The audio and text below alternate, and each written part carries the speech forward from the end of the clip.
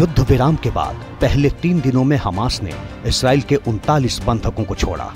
इसके अलावा हमास ने 19 विदेशियों को भी रिहा कर दिया।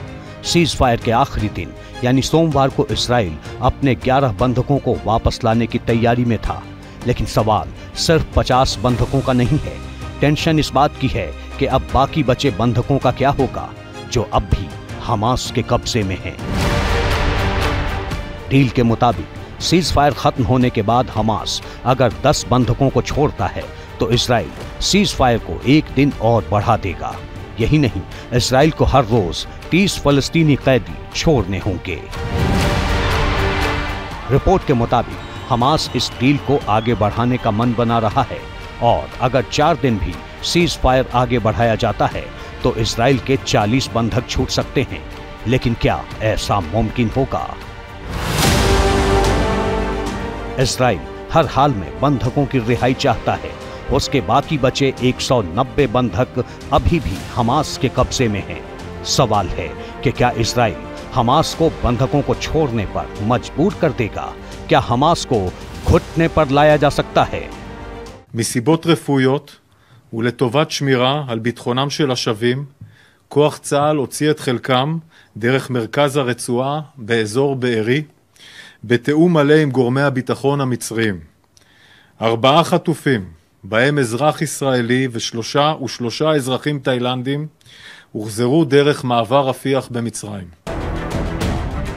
48 दिनों की जंग में इसराइल हमास के कई बड़े ठिकानों को तबाह कर चुका है हमास के कई कमांडर मारे जा चुके हैं चार दिनों के सीज फायर के दौरान भी गाजा में इसराइली फौज अलर्ट मोड में थी ताकि सीज फायर के दौरान हमास की हर चाल को नाकाम किया जा सके। यही नहीं सीज फायर के दौरान खुद पीएम नेतन्याहू गाजा पहुँच गए।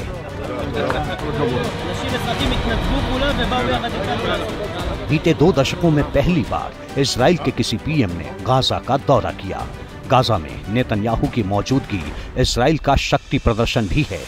सीज फायर के दौरान गाजा पहुंचकर नेतन्याहू ने यह साफ़ कर दिया कि गाजा पर अब इसराइल का कब्जा हो चुका है और तो और नेतन्याहू ने लगे हाथ ये भी संकेत दे दिया कि जब तक गाजा से हमास का सफाया नहीं हो जाता ये युद्ध जारी रहेगा I repeat this to you, the citizens of Israel. We will continue until the end, until victory. Nothing will stop us, and we are convinced that we have the strength, the power, the will, and the determination to achieve all the war's goals. And that is what we will do.